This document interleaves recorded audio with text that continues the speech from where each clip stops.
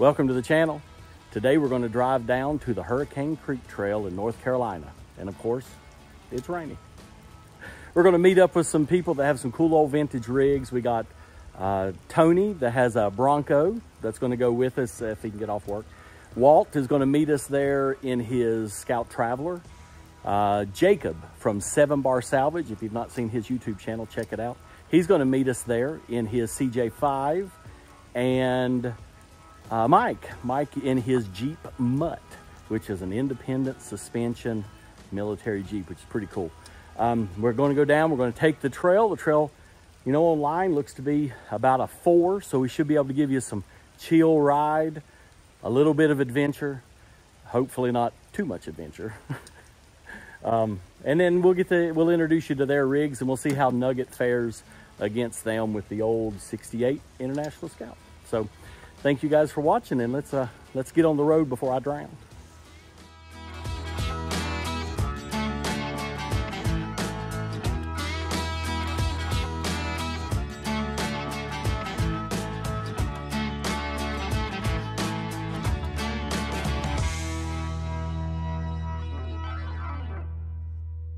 All right, folks. Well, we have got the Scout packed and loaded.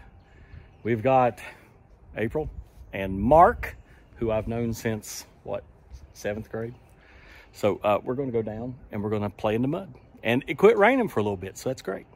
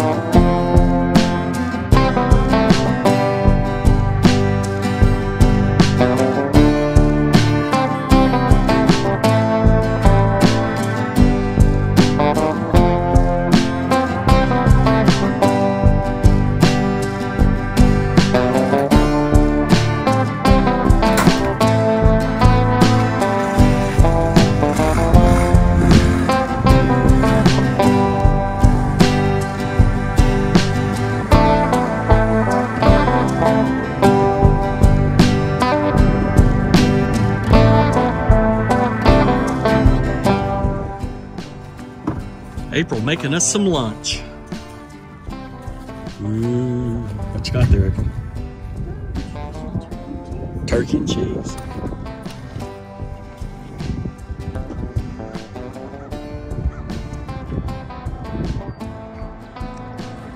So far, the rain has mostly held off for us. Not too bad.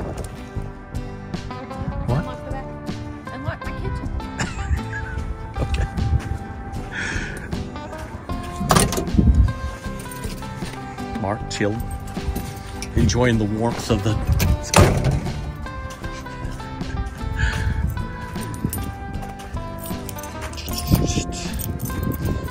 Are you chilly?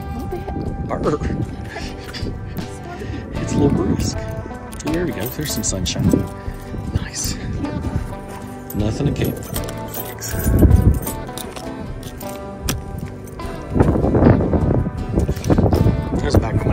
Called Vintage Overlanding Alaska, but we don't live in Alaska now. So now it's just Vintage Overlanding. There is nothing about a North Carolina back road that is straight. Holy cow. Makes a man long for power steering.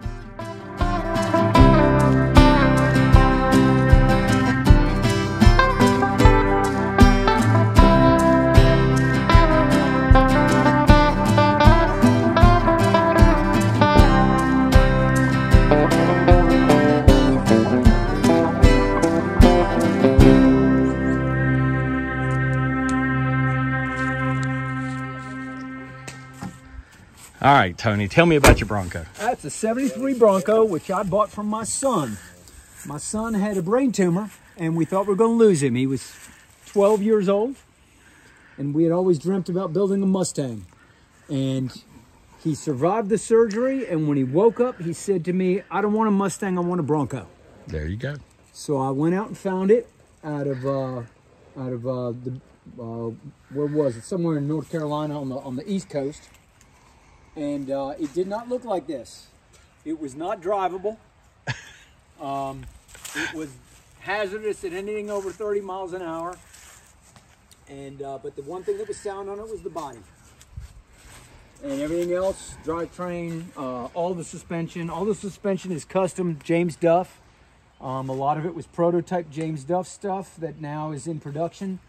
Um, and uh, it's been a labor of love. And I've had people offer me three times what it's worth. I wouldn't sell it to, I wish you could go with us I wouldn't man. let it go for anything. Um, not for anything. And it's, it really belongs to my son. It doesn't belong to me. I'd hate to see you put a scratch on it, but still. I darn. don't mind putting a scratch on it.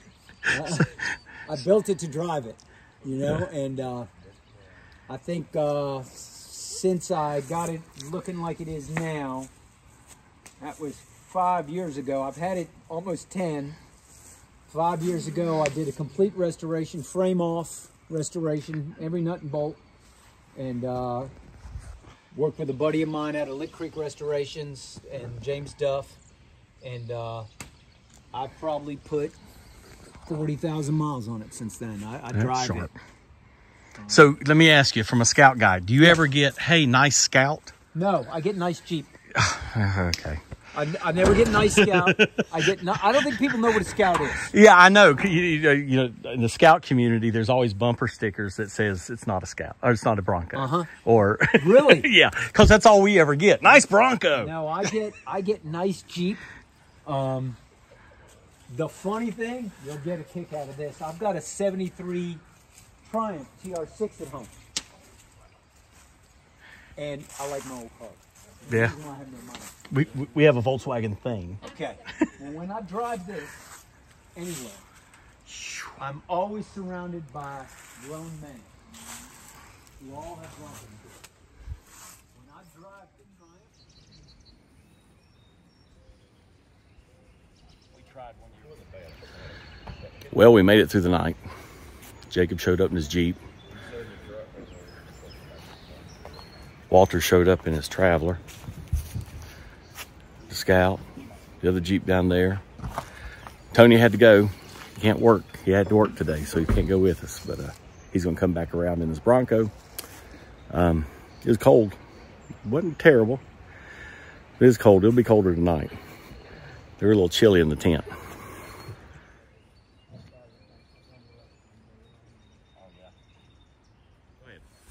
This is my 1971 M151A2. A lot of people call it the Mutt and stuff. And it's a little four-cylinder Jeep that replaced the ones you used to see bouncing around in World War II and stuff like that. They made them all through Vietnam, through the 60s, and all the way up until the late 70s. And then after that, they got replaced by the Humvee in the in the early 90s, I guess.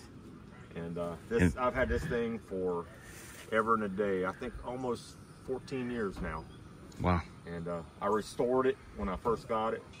It did not look like this. like most old vehicles, it did not look like this. There was a, literally a tree growing out of the middle of it. Well, So, it's I- come a long way. it did come a long way. There was a lot of welding and a lot of repairs. Independent suspension. And Independent that's just suspension crazy. all the way around. It's a unibody, so there's no frame. So, and the differentials are bolted literally to the bottom of the body. So Huh. you get a lot of noise, lot of gear noise. Uh, not really a traveling kind of setup. is They- the Army didn't care. 50 miles per hour is, is about it. Any more than that, you feel like you're launching in the orbit. But yeah, it's coil springs all the way around. Got a They're great little vehicles off road. great like departure angle and Oh yeah, it's it's right there. yeah, it's right there on it, man. And check out that distributor. That's all waterproof. ain't? That's Yes. that's 100% waterproof and uh, electromagnetic pulse, EMP proof. Really? Yeah. That's why they're copper wire, copper shielded like that. so that a, so cool. a nuclear blast won't destroy the ignition. Well. The coil is actually mounted inside the distributor. Huh. That's why you don't even see a coil mounter. It's inside, encased in all metal. And then the spark plugs are aircraft spark plugs, air, basically aircraft wires. So it's all contained. Ah, that's a sweet rig. With a fording kit, I've seen them drive around with the water up over the driver.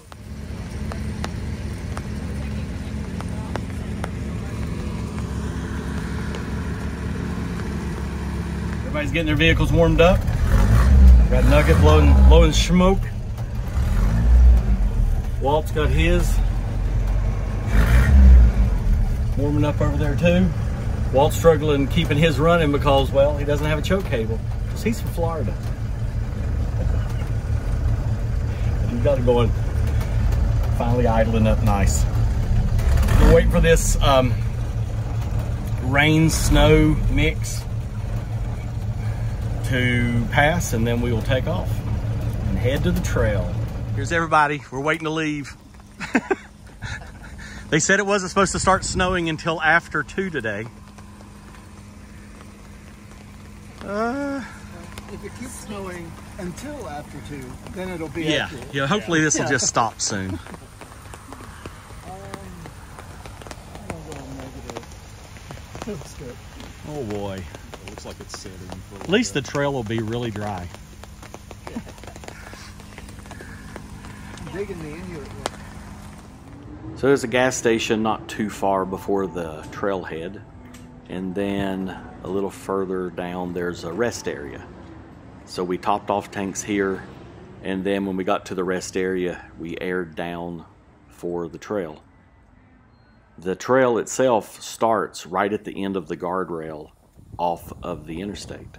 So you have to get prepared in advance. And if you miss the end of the guardrail, miss the beginning of the trail, it's like a 16 mile round trip to get a second chance. So you got to really pay attention here and then get out of the way so all the people behind you with drum brakes don't drive into the back of your scout. There's a big old pothole when you turn off.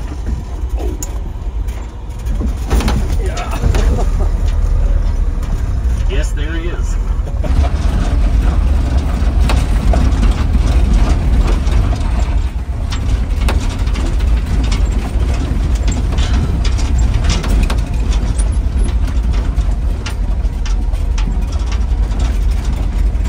Maybe right here in the flat we can stop and put him in four-wheel drive.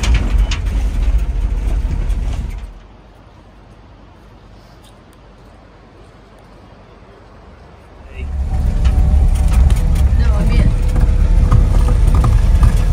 Or you mean you drive. knee drive? Oh, that's just that's just silly.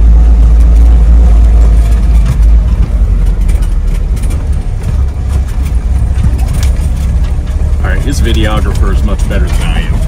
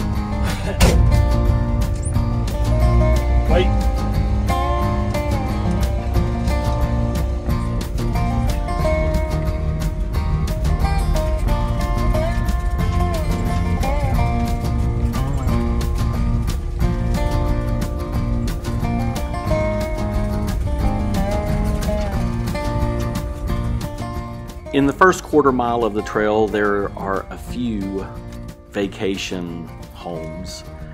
I'm guessing people drive in this way and then drive back out the wrong way on the trail. It's listed on most of the websites as a one way trail, so if you ever try this, make sure you come in this way. I've seen a couple of videos where people meet large groups coming the wrong way and there is just nowhere to pass.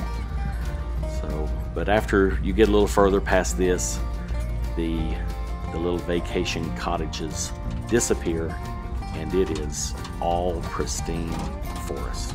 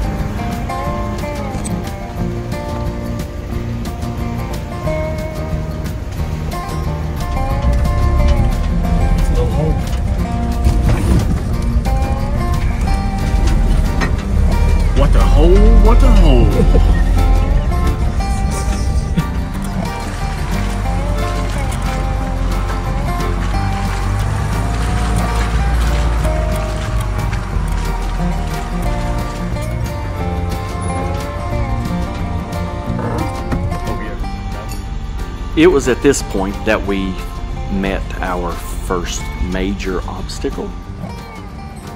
Nothing too bad. Air down tires are an amazing thing, but for someone like me who hasn't really done much of this, honest to goodness four wheeling, I was um, a little nervous.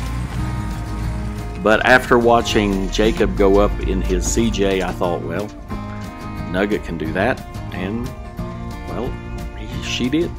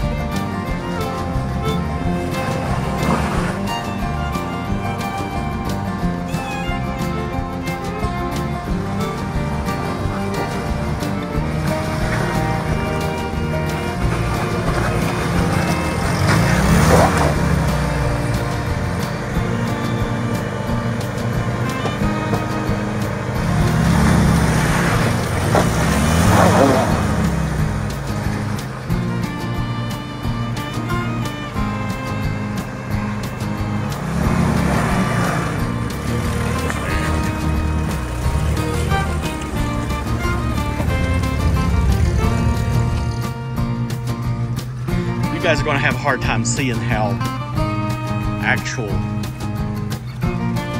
steep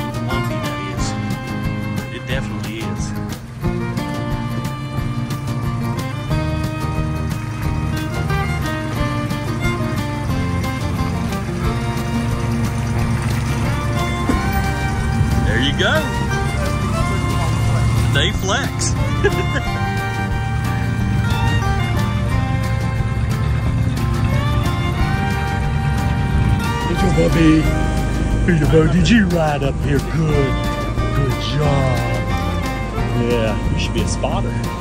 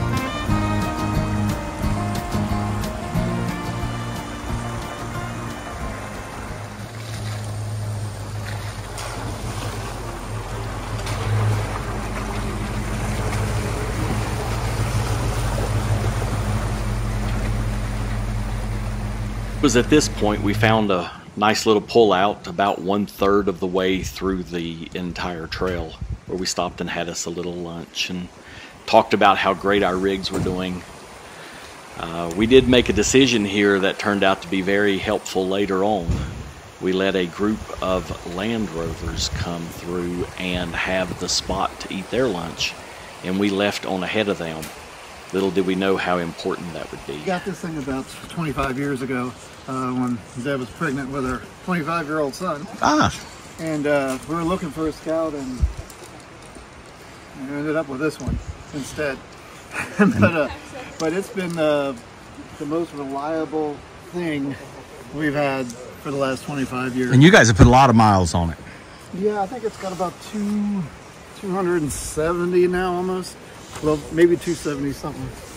But it's it's nice. It's factory um, 345, 500 CFM Holley two barrel, and It's a nice setup. it's power tilt steering, factory air, power disc brakes. I mean, we're the luxury cruiser on this. I was about to say, just You know, just throwing shade. but you know, it's the best it's looked in 25 years. It it's is trying sharp. to revert back to its true form.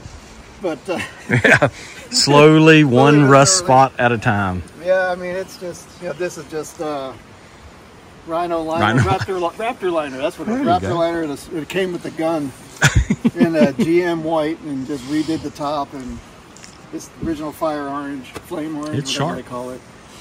But yeah, she just she just keeps on rolling. Right now, it had a leak in the. in it. Yeah, it's like purple. The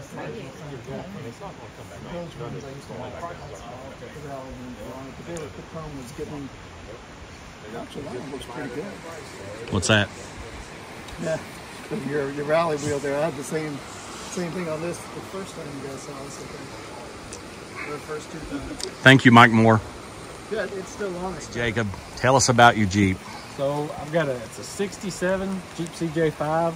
It's got the uh, the four cylinder T90C Dana 18 transfer case. Um, I actually got it from a buddy. He he bought it to make a rock crawler, never did nothing with it. And he's like, "Come get it out of my yard." So I went and got it. And uh, The perfect price. Yep. My biggest upgrades I've done to it, it's got four-wheel disc brakes from Brennan's Garage. Um, it's got a limited slip in the front and uh, a uh, ratcheting locker in the back. That's a, pretty solid little machine. Yeah, it's, it's cruising right along. And Kept up with me on the interstate. Yeah, that's as fast as a truck driver. We found that out. yep, which is plenty fast. And of course, I put the half top on it, which has made a world of difference right now with it snowing. Oh yeah. Yeah, that's sharp. That is sharp. So Jacob's with um, Seven Bar Salvage. Yep. So check him out on YouTube. You can pause the video right now. Pause it, go over there and subscribe, and then come back because you got to finish this video for me. All right. But he's got other video from the trip. So if you enjoy this one, go over there and check out the rest of the footage. So anyway, very cool. It's uh, well, maybe it'll quit in a minute.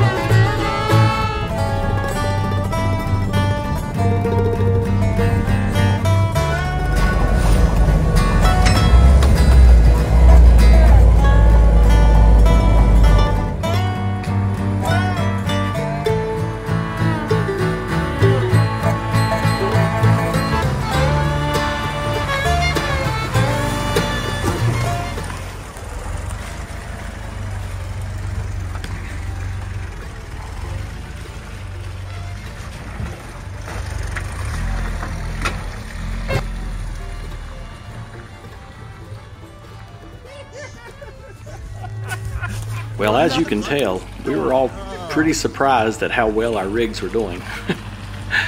uh, none of us really had a lot of experience on hard trails or anything, so this one was right up our alley at this point. That's why we had picked a level 4 trail. That didn't quite turn out to be that.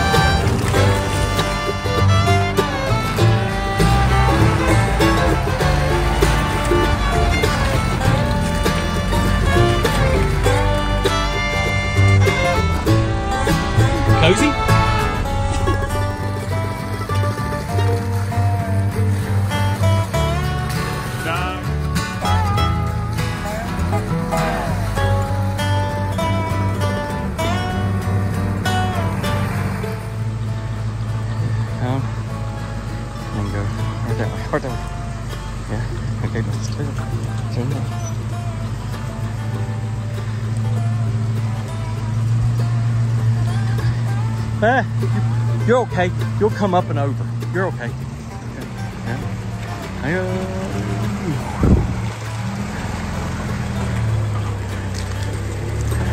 It was close. You had no problem. No dip. No problem.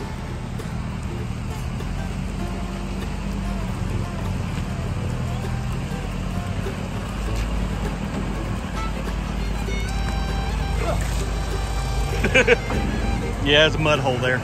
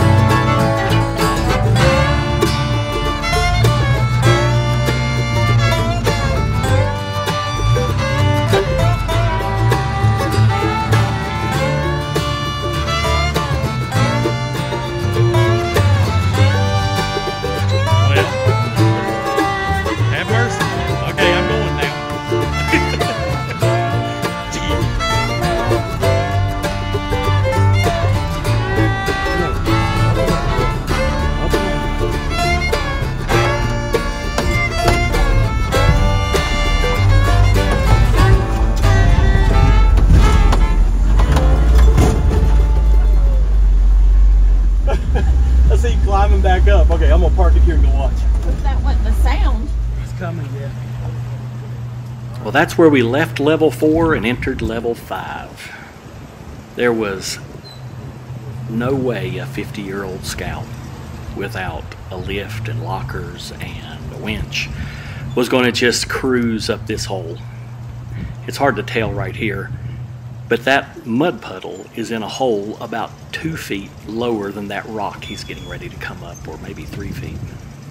And you'll notice here when he does, his front tire kind of slips off of that rock and pins his spring right on top of it. So, time to break out the winch. But that doesn't go so well either. And we didn't do a real good job of showing what is to the left of that scout. It's about a 40 foot drop into the creek. And there's Jeep parts down there. and we didn't want to put scout parts down there. So it was uh, a is off camber. It just it, we were a little freaked out, I have to say. This tire is light on the ground right here. You get, you're gonna get no traction here. Yeah. Real bad out here.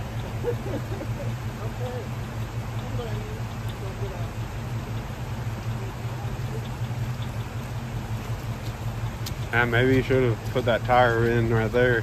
I don't think the bank will give way. Yeah, and no. he and I both have dips You don't on have this enough. side. Yeah, you don't have enough clearance. we can't to come get- over that. Yeah. You're gonna go thunk right into it. He's gonna get right here, and he's gonna put a tow strap on me. And I'll put a tow strap on somebody else. How bad did it look from out here? Uh, your tires were trying to lift. Yeah. And when you rock back and hit the, you know, and you stop, it, you probably only about five pounds of I think when I come up, I need to be further that way until the last minute.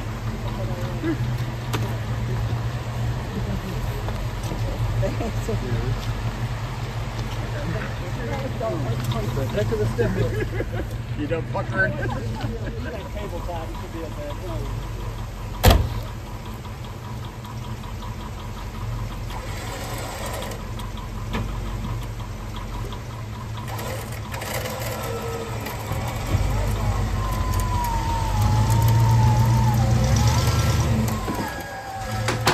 And right there, there's the spot where things went sideways. Literally went sideways. His tire turned, he slid down on the rock, jammed his spring right into it, and the winch gave up the ghost. So now we were trapped. Couldn't get around him, couldn't get up. A handful of people were pulling up behind us in Land Rovers, and lucky for us, they had lots of traction boards.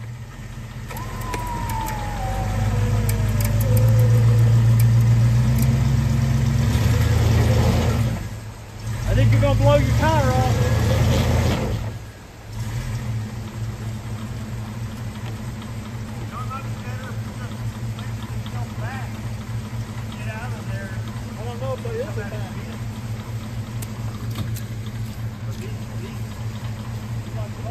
I think you have to let yourself back a little bit. I wanted to be a little bit more than the road I came up with. Yeah. Your spring pack is on that rock now. Okay. I'm going back, trying to straighten up. That or we could go around, look, we could go around that tree Yeah. and it might Yeah. lift you up over better. That's kind of dragging you into the rock. Yeah, I'm into That'll pick up a little bit. If I can go back. If Yeah, you can you get it back and it up. not, but this wheel was lifting off the ground. so it's just not gonna pull your Inch tire. off, inch, inch. Yeah.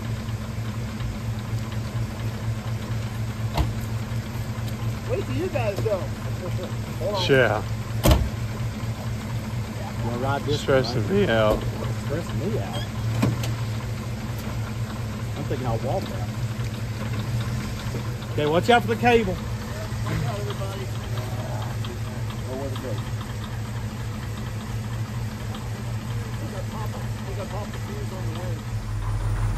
Don't get too close to that cable.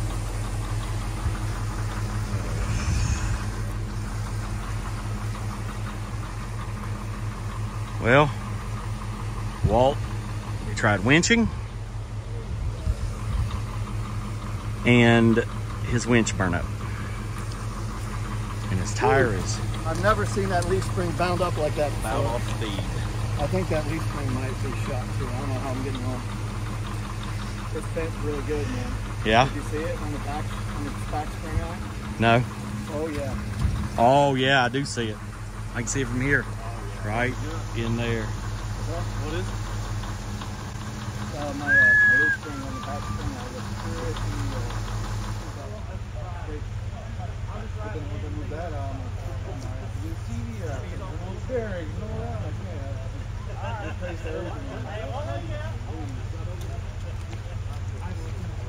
So we tried traction boards and jacking it up with a farm jack to get things under the wheel and putting people on the fender to add weight.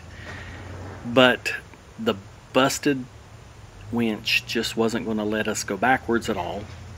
And the big rock wasn't going to let us go forward. So the best we could figure out, the best choice we had was to take an axe to the tree saver and let the winch loose so he could back back down.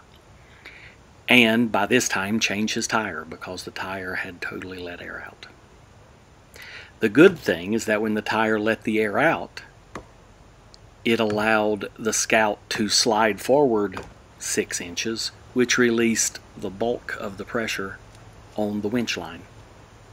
So when we did cut it, there was practically no reaction. It basically just fell. We had Mark hold a tow strap that went around the tree a couple times and hooked through the hook on the winch. Not really to hold it back, but to just let it slow down as it unwound around the tree. But it turned out we really didn't even need that.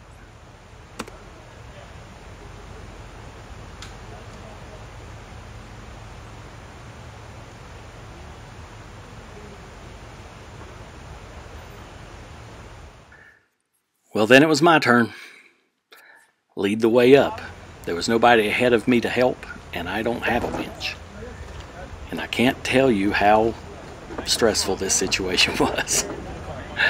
Um, Nugget was bouncing to the left and down the hill, or sure felt like it. Uh, like I said, we're not we're not level five, level six kind of four wheelers. Um, but we were doing our best. You got to remember when you watch this, I don't have an automatic. I have a three speed with highway gears. Makes you long for an automatic.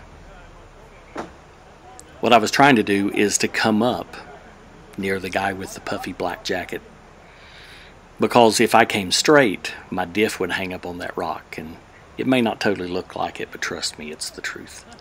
Plus, where my buddy Mark is standing in the gray jacket, there's only about six inches of ground there, and it appeared to be fresh, like it was shoveled in. and so we really didn't want to put a vehicle on it.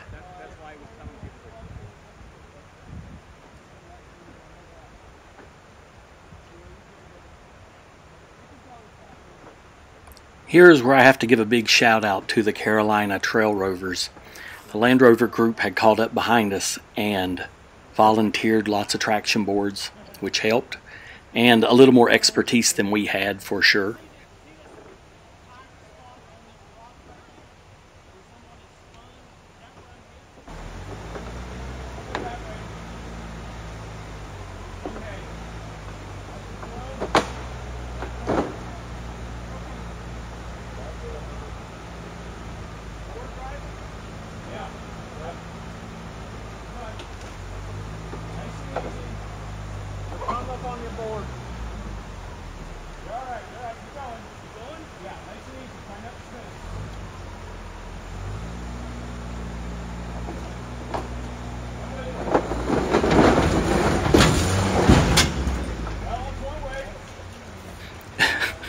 Well, I'll be the first to say that was not the way to do that.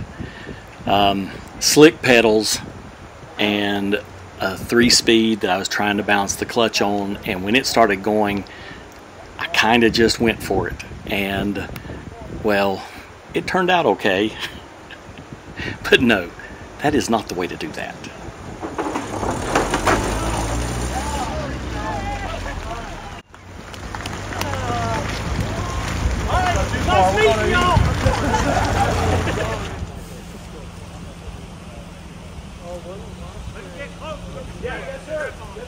You get up there with those guys, I'll be totally safe.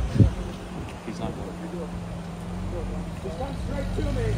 That tire right on there.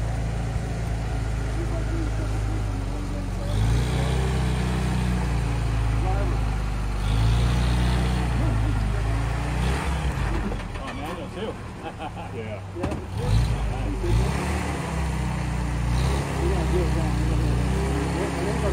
Yeah. Nice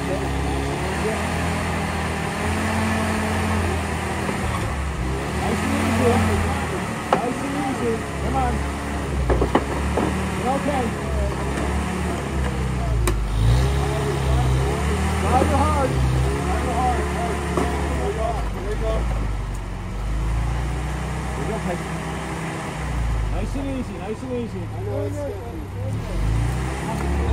You're fine. Good the way you are.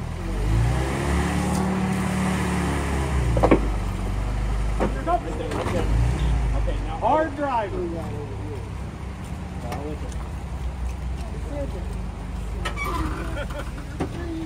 That was my motto. I don't know about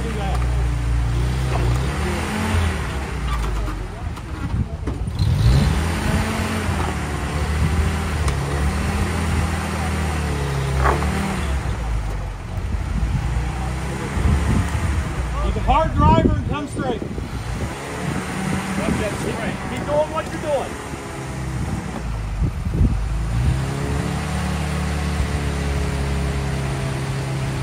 Come on.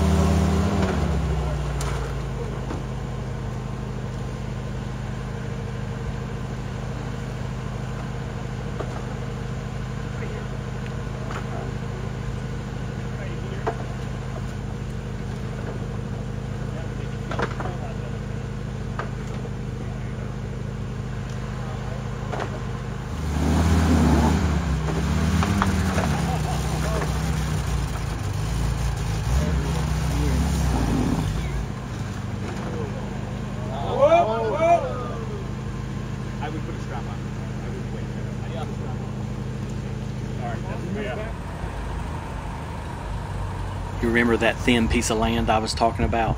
Well, it gave way under Mike's wheel. So, yeah, we needed to put a strap on it.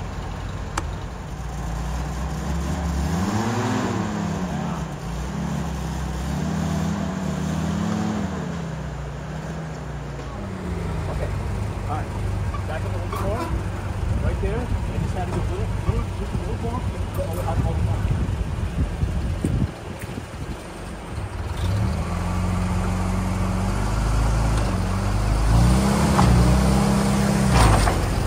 There you go. See? That's all you needed. All right. Whoa, whoa, whoa. Right there, right there. Hold on. And then someone had the brilliant idea to put a few rocks in that hole to fill it up. So we did that. And, well, it helped considerably.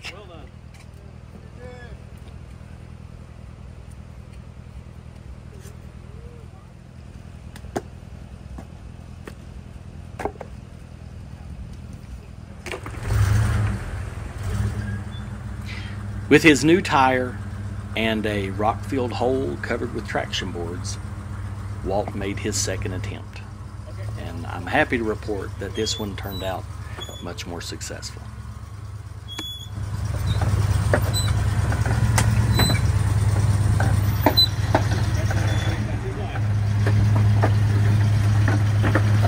Yep, yep, yep. Look at nice and easy. Yep, look at that.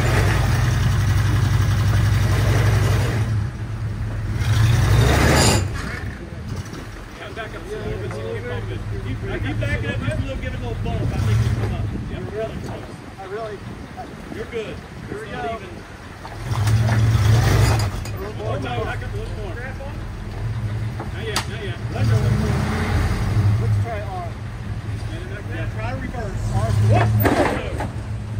A little momentum this time.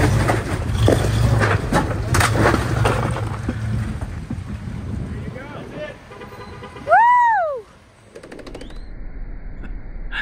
Another huge shout out to the Carolina Trail Rovers for pitching in and helping out. We were a, a pretty happy group when we made it out of there.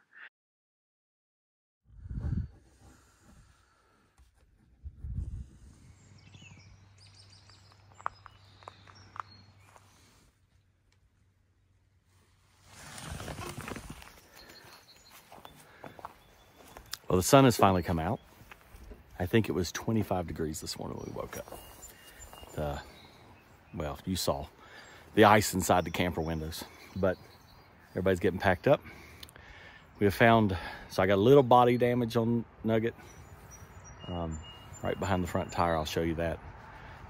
Um, but outside of that, she still seems fine. Uh, the driver's door might not be shutting. They said that they couldn't get it shut, but I think it's just because they don't slam it as hard as I do. it's never been great. Anyway, we'll get packed up and we'll get on the road and head on back. Uh, yesterday was quite an adventure.